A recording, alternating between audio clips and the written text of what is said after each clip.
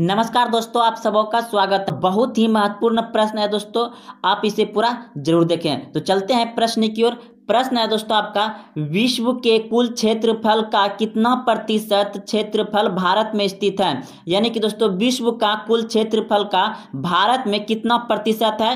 तो वह है दोस्तों आपका ऑप्शन नंबर बी, बिल्कुल सही है, टू पॉइंट बयालीस प्रतिशत। यानी कि टू पॉइंट फोर टू प्रतिशत यह पूरे विश्व का क्षेत्रफल जो है कि भारत में हिस्सा इतना पड़ता है। तो चलते हैं अगले प्रश्न की ओर। प्रश्न बहुत अच्छा है। यह प्रश्न आप सभी भी जानते होंगे कि भारत में जनगणना की अवधि है। भारत में जनगणना की अवधि है। तो भारत में प्रत्येक दस वर्ष में जनगणना किया जाता है। जनसंख्या की गिनती किया जाता है। तो ऑप्शन नंबर एक बिल्कुल सही है दोस्तों, ए। तो चलते हैं अगले प्रश्न की ओर। प्रश्न है दोस्तों, देखिए, भारत की कुल जनसंख्या कितनी है? यानी कि दोस्तों, यह 2010 की 10 के अनुसार जनगणना है। तो यह है, भारत की कुल जनसंख्या कितनी है? तो दोस्तों, इस प्रश्न का उत्तर हो जाएगा ऑप्शन नंबर ए, बिल्कुल सही है, एक सौ इक्कीस पॉइंट ज़ीरो आठ करोड़। इतना है दोस्तों, ये जनसंख्या। तो चलते हैं अगले प्रश्न की प्रश्न है दोस्तों आपका, भारत की सबसे बड़ी जनजाति है। तो इस प्रश्न का उत्तर हो जाएगा दोस्तों आपका, ऑप्शन सी बिल्कुल सही है, गेंडा। तो चलते हैं अगले प्रश्न की ओर। प्रश्न है दोस्तों, विश्व की कुल जनसंख्या का कितना प्रतिशत जनसंख्या भारत में निवास करती है? विश्व का कुल जनसंख्या का कितना प्रतिशत भारत में निवास करती है तो यह है दोस्तों आपका सत्रह पॉइंट पाँच प्रतिशत ऑप्शन नंबर ए। बिल्कुल सही है दोस्तों। तो चलते हैं अगले प्रश्न की ओर। प्रश्न है, भारत का कुल क्षेत्रफल कितना है? तो इस प्रश्न का उत्तर हो जाएगा आपका ऑप्शन नंबर बी। बिल्कुल सही है। बत्तीस लाख सतासी हज़ार दो सौ तिरसठ वर्ग किलोमीटर है। ऑप्शन बी, बिल्कुल सही है। तो चलते हैं अगले प्रश्न की ओर। प्रश्न है आपका सात नंबर। भारत के दक्षिण छोर को क्या कहा जाता है? भारत के दक्षिण छोर को क्या कहा जाता है? तो इस प्रश्न का उत्तर हो जाएगा ऑप्शन डी, बिल्कुल सही है इंदिरा पॉइंट। तो चलते हैं अगले प्रश्न की ओर। प्रश्न है, भारत की कुल स्थलीय सीमा की लंबाई कितनी है? भारत की कुल स्थलीय सीमा की लंबाई कितनी है? तो इस प्रश्न का उत्तर हो जाएगा ऑप्शन बी, बिल्कुल सही है पंद्रह हज़ार दो सौ किलोमीटर। तो चलते हैं अगले प्रश्न की ओर। प्रश्न आपका नौ नंबर। भारत की कुल समुद्री तटीय रेखा या सीमा की लंबाई कितनी है? तो भारत की कुल समुद्री तटीय, यानी कि दोस्तों समुद्र भारत में कितना दूर तक सटा हुआ है, वह रेखा या तट है? तो इस प्रश्न का उत्तर आएगा ऑप्शन ए, बिल्कुल सही है। सात हज़ार पाँच सौ सोलह पॉइंट पाँच किलोमीटर, सात हज़ार पाँच सौ सोलह पॉइंट पाँच किलोमीटर। तो चलते हैं अगले प्रश्न की ओर। प्रश्न है आपका। भारत की मुख्य भूमि से लगे समुद्री तटीय रेखा, सीमा की लंबाई कितनी है? तो दोस्तों, भारत के जो कि समुद्री तटीय सीमा रेखा की लंबाई कितनी है? तो इस प्रश्न का उत्तर हो जाएगा। का उत्तर हो जाएगा आपका ऑप्शन सी बिल्कुल सही है। इकसठ सौ किलोमीटर है। मुख्य दोस्तों, भारत की मुख्य भूमि से लगे समुद्री तटीय रेखा, सीमा की लंबाई कितनी है? तो यह है दोस्तों आपका इकसठ सौ किलोमीटर। और कुल था दोस्तों आपका पूल मतलब पूरा कुल था आपका सात हज़ार पाँच सौ सोलह पॉइंट पाँच किलोमीटर। ये टोटल समुद्री तटीय रेखा था। और दोस्तों मुख्य मुख्य कितना है? इकसठ सौ किलोमीटर। तो चलते हैं अगले प्रश्न की ओर। प्रश्न है आपका ग्यारह नंबर। भारत का मानक समय साढ़े बेरासी डिग्री पूर्वी देशांतर पूर्वी देशांतर रेखा किसके मध्य से होकर गुजरती है? तो भारत के समय रेखा साढ़े बेरासी डिग्री पूर्वी देशांतर जो गुजरता है दोस्तों, वह गुजरता है मिर्जापुर से होकर। तो चलते हैं अगले प्रश्न की ओर। प्रश्न आपका, बारह नंबर, सूर्य की ऊर्जा का मुख्य स्रोत क्या है? सूर्य की ऊर्जा का मुख्य स्रोत क्या है? तो इस प्रश्न का उत्तर हो जाएगा आपका, ऑप्शन बी बिल्कुल सही है नाभिकीय संलयन। तो चलते हैं अगले प्रश्न की ओर।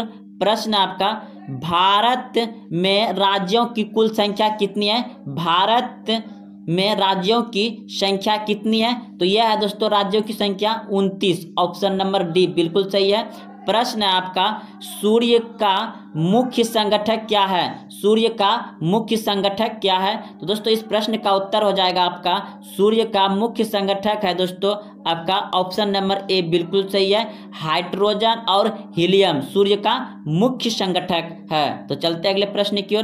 प्रश्न है दोस्तों, भारत की जल क्षेत्र सीमा कहाँ तक फैली है? भारत की जल क्षेत्र सीमा कहाँ तक फैली है? तो इस प्रश्न का उत्तर आ जाएगा ऑप्शन बी, बिल्कुल सही दोस्तों, बारह समुद्री मील, बारह समुद्री मील। तो चलते हैं अगले प्रश्न की ओर। प्रश्न है, कर्क रेखा भारत के कितने राज्यों से होकर गुजरती है? कर्क रेखा भारत के कितने राज्यों से होकर के गुजरती है? आठ राज्यों से होकर गुजरती है। तो चलते हैं अगले प्रश्न की ओर।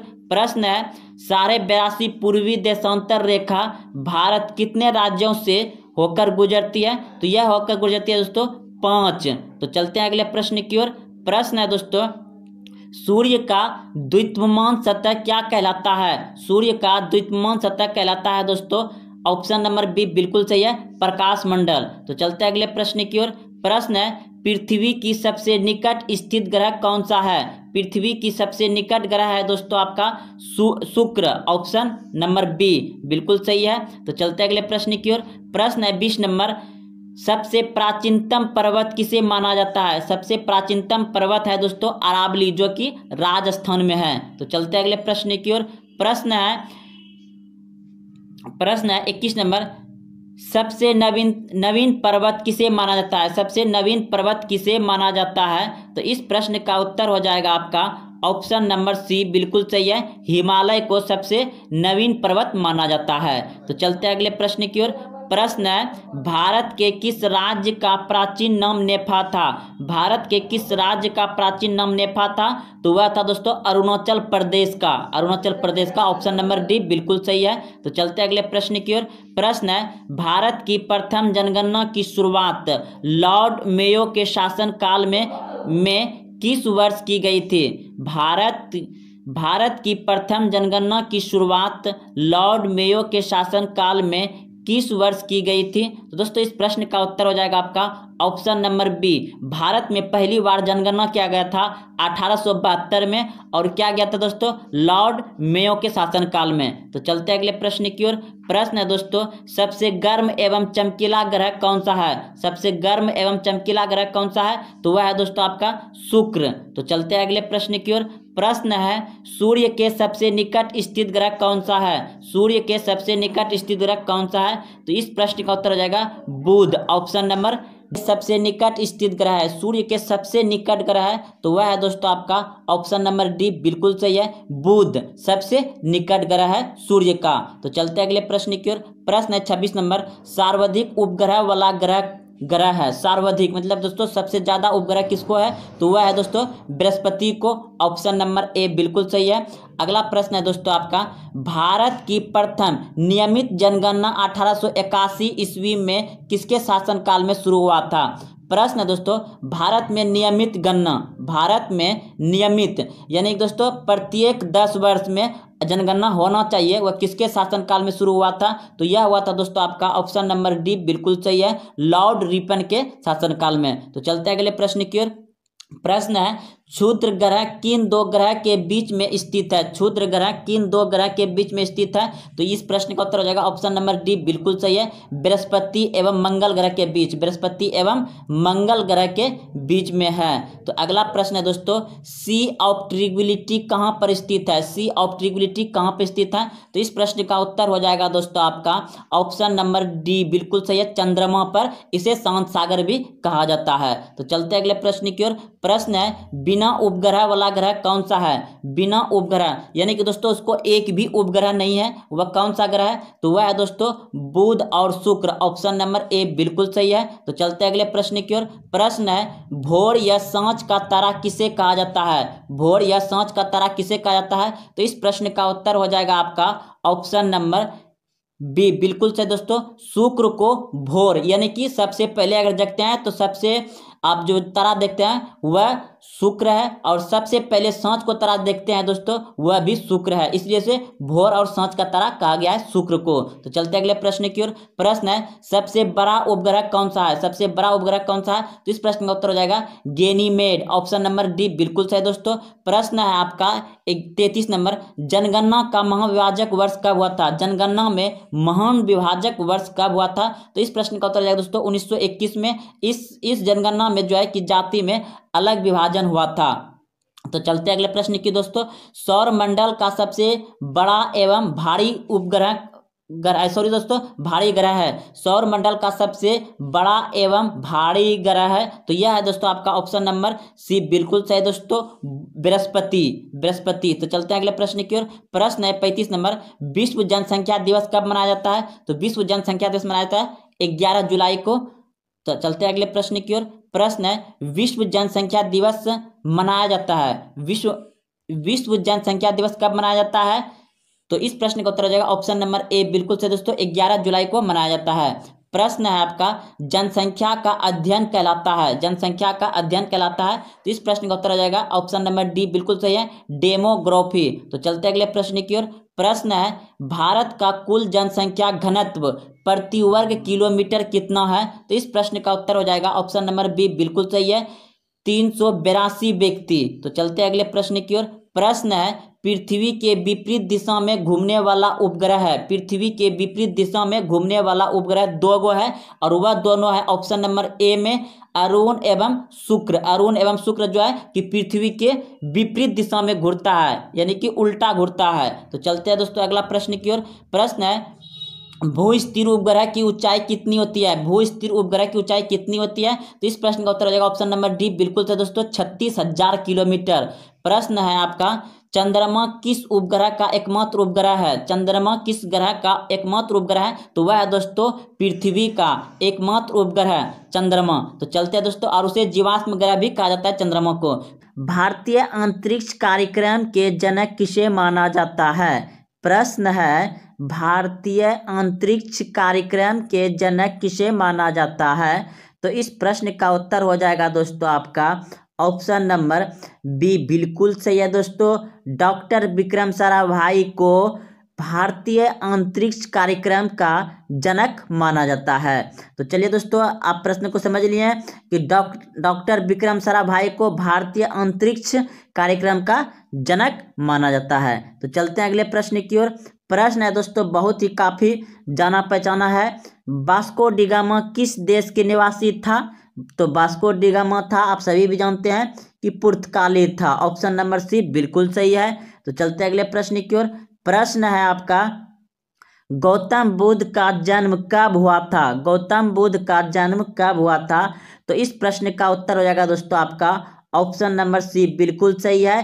पाँच सौ तिरसठ ईसा पूर्व में गौतम बुद्ध का जन्म हुआ था लुबनी में, नेपाल में। और का, भारत का प्रथम मिसाइल कौन सा है? भारत का प्रथम मिसाइल कौन सा है? तो इस प्रश्न का उत्तर जाएगा दोस्तों आपका ऑप्शन नंबर डी, बिल्कुल सही है, पृथ्वी। तो चलते हैं अगले प्रश्न की ओर। प्रश्न है आपका, आकाश मिसाइल मार करती है, आकाश मिसाइल मार करती है। तो इस प्रश्न का उत्तर हो जाएगा आपका ऑप्शन नंबर सी, बिल्कुल सही दोस्तों, ज़मीन से हवा में। आकाश मिसाइल मार करती है, ज़मीन से हवा में। तो चलते हैं अगले प्रश्न की ओर। प्रश्न दोस्तों, बहुत ही काफ़ी जाना पहचाना है। पड़ोसी का युद्ध कब हुआ है? पड़ोसी का युद्ध कब हुआ है? तो इस प्रश्न का उत्तर हो जाएगा।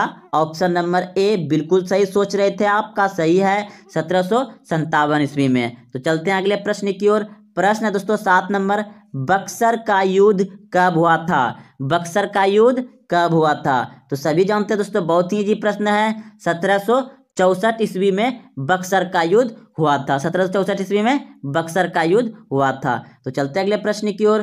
प्रश्न है दोस्तों आपका, मुस्लिम लिंग की स्थापना कब हुआ था? मुस्लिम लिंग की स्थापना कब की गई थी? तो यही प्रश्न बहुत अच्छा है दोस्तों। ऑप्शन नंबर बी बिल्कुल सही है। उन्नीस सौ छः ईस्वी में मुस्लिम लिंग की स्थापना की गई थी। तो चलते हैं अगले प्रश्न की ओर। प्रश्न है दोस्तों कि भारतीय अंतरिक्ष अनुसंधान संगठन इसरो का मुख्यालय कहाँ है? प्रश्न है, भारतीय अंतरिक्ष अनुसंधान संगठन इसरो का मुख्यालय कहाँ पर स्थित है? तो दोस्तों, इस प्रश्न का उत्तर हो जाएगा आपका। ऑप्शन नंबर बी बिल्कुल सही है, बंगलोर में। भारतीय अंतरिक्ष अंतरिक्ष संगठन, यानी कि दोस्तों, इसरो का मुख्यालय कहाँ है? बंगलोर में। बंगलोर में है? तो चलते अगले प्रश्न की ओर। प्रश्न है दोस्तों कौन एक टेक रोधी मिसाइल है? कौन एक टेक रोधी मिसाइल है? तो इस प्रश्न का उत्तर हो गया ऑप्शन नंबर ए, बिल्कुल सही है, नाग। तो चलते अगले प्रश्न की ओर। प्रश्न है, प्रथम प्रथम विश्व युद्ध कब से कब तक चला था? प्रथम विश्व युद्ध कब से कब तक चला था? तो दोस्तों, यह प्रश्न भी बहुत जाना पहचाना है, और आप सभी भी जानते हैं कि प्रथम विश्व युद्ध शुरू हुआ था 1914 में और 1918 में ख़त्म हो गया था।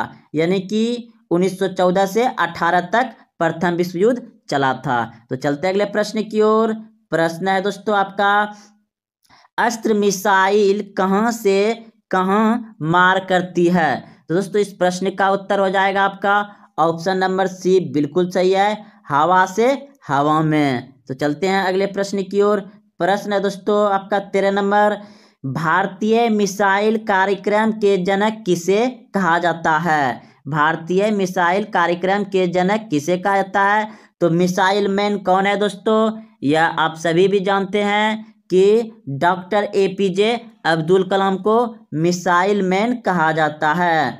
तो इस प्रश्न का उत्तर हो गया, doctor A P J Abdul Kalam को क्या कहा जाता है?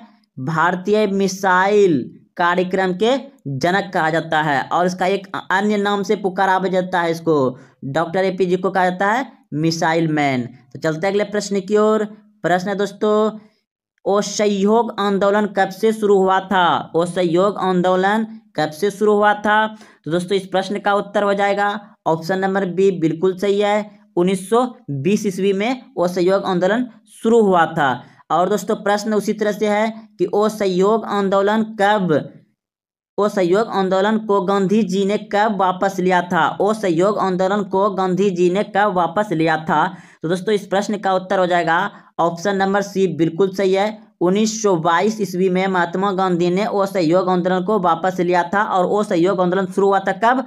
1920 ईस्वी में 1920 ईस्वी में हुआ था। तो चलते अगले प्रश्न की ओर। प्रश्न है दोस्तों, अंतरिक्ष में पहुँचने वाला प्रथम व्यक्ति कौन था? अंतरिक्ष में पहुँचने वाला प्रथम व्यक्ति कौन था?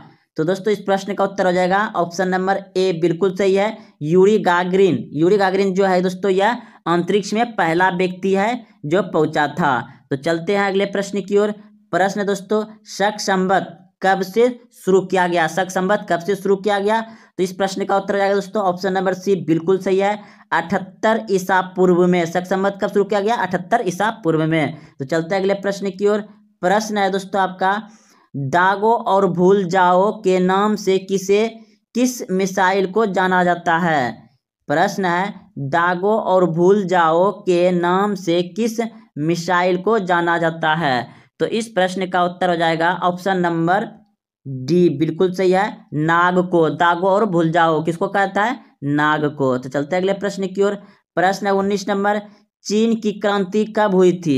चीन की क्रांति कब हुई थी? तो इस प्रश्न का उत्तर हो जाएगा दोस्तों, आप सभी जानते होंगे कि चीन की क्रांति 1911 ईस्वी में हुआ था। चीन की क्रांति कब हुआ था? 1911 ईस्वी में। तो चलते अगले प्रश्न की ओर।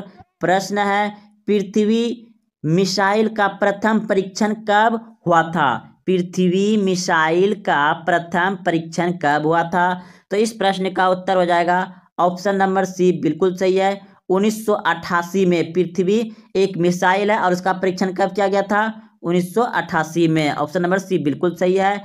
अगला प्रश्न है दोस्तों, अंतरिक्ष में जाने वाली प्रथम महिला कौन है? अंतरिक्ष में जाने वाली प्रथम महिला कौन है? तो इस प्रश्न का उत्तर हो जाएगा ऑप्शन नंबर ए। बिल्कुल सही दोस्तों। Well Valentina Tereshkova. Option A बिल्कुल सही है। तो चलते अगले प्रश्न की ओर।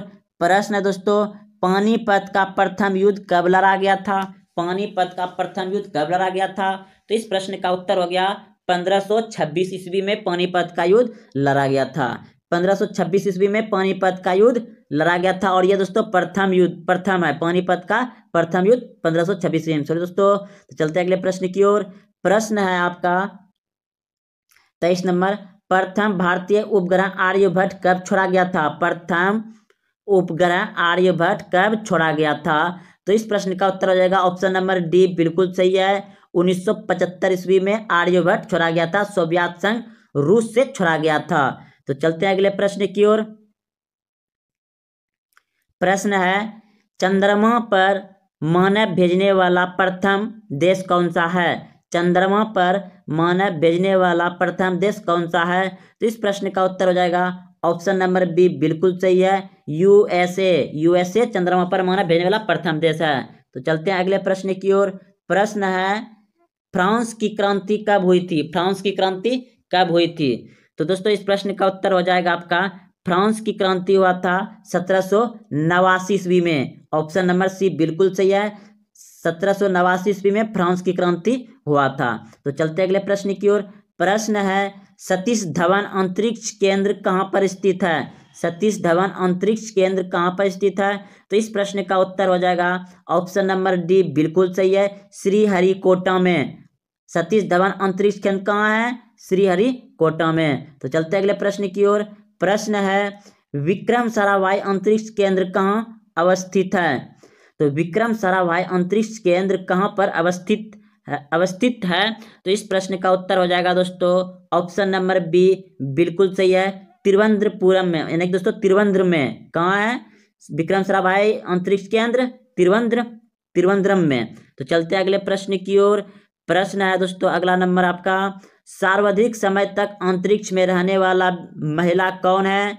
सर्वाधिक समय तक अंतरिक्ष में रहने वाले महिला कौन है? तो इस प्रश्न का उत्तर हो जाएगा आपका ऑप्शन नंबर डी। बिल्कुल सही दोस्तों, सुचिता विलियम्स। सुचिता विलियम्स। तो चलते हैं अगले प्रश्न की ओर। सुचिता विलियम्स सबसे अधिक समय तक अंतरिक्ष में रहा है।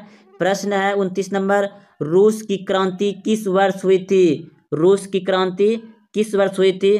तो इस प्रश्न का उत्तर हो जाएगा आपका ऑप्शन नंबर सी, बिल्कुल सही है, उन्नीस सौ सत्रह ईस्वी में। रूस की क्रांति कब हुई थी?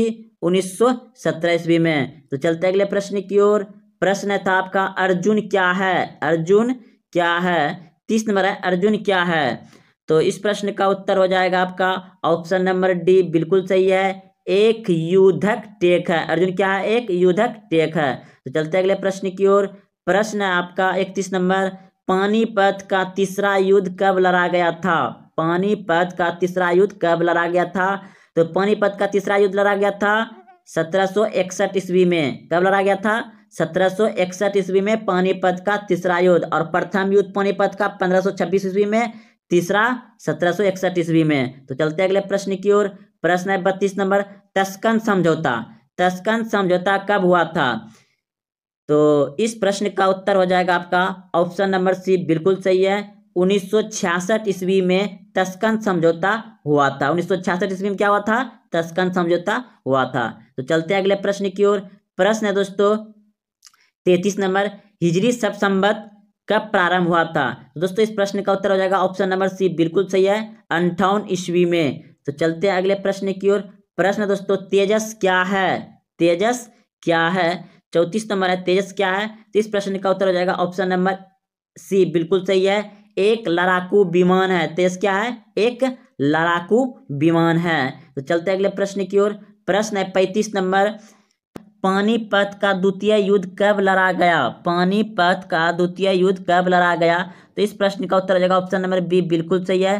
पंद्रह सौ छप्पन ईस्वी में पानीपत का द्वितीय युद्ध लड़ा गया और प्रथम युद्ध कब लड़ा गया था? पंद्रह सौ छब्बीस में, और तृतीय युद्ध कब लड़ा गया था? सत्रह सौ इकसठ ईस्वी में तृतीय युद्ध लड़ा गया था। तो चलिए दोस्तों, आप समझ गए कि प्रथम युद्ध पानीपत का कब हुआ था पंद्रह सौ छब्बीस ईस्वी में? द्वितीय कब हुआ पंद्रह सौ छप्पन ईस्वी में? और तृतीय कब हुआ सत्रह सौ इकसठ ईस्वी में? तो चलते अगले प्रश्न की ओर। प्रश्न है प्रथम अंतरिक्ष पर्यटक कौन है? प्रथम अंतरिक्ष पर्यटक कौन है? तो इस प्रश्न का उत्तर हो जाएगा ऑप्शन नंबर डी, बिल्कुल सही दोस्तों, डेनिश डिटो, प्रथम अंतरिक्ष पर्यटक है। तो चलते अगले प्रश्न की ओर। प्रश्न है तराइन का द्वितीय युद्ध कब हुआ था? तराइन का द्वितीय युद्ध कब हुआ था? तो इस प्रश्न का उत्तर हो जाएगा ऑप्शन नंबर बी, बिल्कुल सही है। ग्यारह सौ बिरानवे ईस्वी में तराइन का द्वितीय युद्ध हुआ था। और प्रथम पूछे दोस्तों तो बता दीजिएगा कि ग्यारह सौ इक्यानवे ईस्वी में प्रथम है और द्वितीय ग्यारह सौ बिरानवे ईस्वी में। तो इस प्रश्न का उत्तर ऑप्शन नंबर बी बिल्कुल सही है। तो चलते अगले प्रश्न की ओर।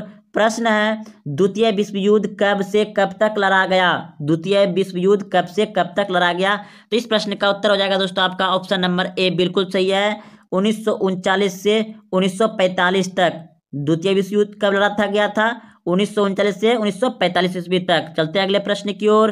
प्रश्न है दोस्तों, द्वितीय विश्व युद्ध कब से कब तक लड़ा गया था? फिर से वही क्वेश्चन आ गया दोस्तों। उन्नीस से उन्नीस तक। तो चलते अगले प्रश्न की ओर। प्रश्न है, अंतरिक्ष में जाने वाला प्रथम भारतीय कौन है? अंतरिक्ष में जाने वाला प्रथम भारतीय कौन है? तो आप सभी जानते हैं दोस्तों, राकेश शर्मा। भारत के प्रथम व्यक्ति थे अंतरिक्ष में जाने वाला कौन? राकेश शर्मा। तो चलते अगले प्रश्न की ओर। प्रश्न है, चंद्रमा पर मानव को भेजने वाला प्रथम अंतरिक्ष यान है। चंद्रमा पर मानव को भेजने वाला प्रथम अंतरिक्ष यान है। तो वह है दोस्तों आपका ओपोलो ग्यारह। इसी से मानव चंद्रमा पर पहुँचा था ओपोलो ग्यारह से। तो चलते अगले प्रश्न की ओर। प्रश्न है इकतालीस नंबर। गांधी इवरिन समझौता कब हुआ था? गांधी इवरिन समझौता कब हुआ था? तो गांधी इवरिन समझौता हुआ था उन्नीस अगले प्रश्न की ओर। प्रश्न है बयालीस नंबर। क्रिप्स मिशन भारत कब आया? क्रिप्स मिशन भारत कब आया? तो क्रिप्स मिशन भारत कब आया इस प्रश्न का उत्तर हो जाएगा आपका। ऑप्शन नंबर ए बिल्कुल सही है, उन्नीस ईस्वी में। क्रिप्स मिशन भारत कब आया उन्नीस ईस्वी में। तो चलते अगले प्रश्न की ओर। प्रश्न है आपका, विक्रम सब संबत कब प्रारंभ हुआ था? विक्रम सब संबत कब प्रारंभ हुआ था? तो इस प्रश्न का उत्तर हो जाएगा दोस्तों आपका। ऑप्शन नंबर बी बिल्कुल सही है, अंठावन ईसा पूर्व में। तो चलते हैं अगले प्रश्न की ओर। प्रश्न है चंद्रमा पर पैर रखने वाला प्रथम व्यक्ति कौन है? चंद्रमा पर पैर रखने वाला प्रथम व्यक्ति कौन है? तो इस प्रश्न का उत्तर हो जाएगा नील आगस्ट्रॉम तो चलते अगले प्रश्न की ओर। प्रश्न है, भारतीय सुदूर संवेदी संस्थान कहाँ पर स्थित है?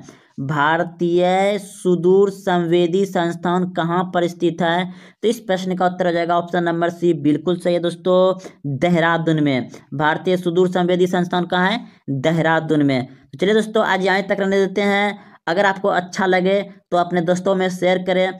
और अगर आप अभी तक चैनल को सब्सक्राइब नहीं किए हैं तो चैनल को सब्सक्राइब कर लें और घंटी दबा दें ताकि जब भी वीडियो अपलोड हो दोस्तों, वो आपके मोबाइल पे सबसे पहले